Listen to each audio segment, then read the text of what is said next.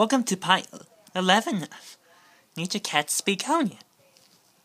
I am Yoshi, and this is Detective Kaplopez.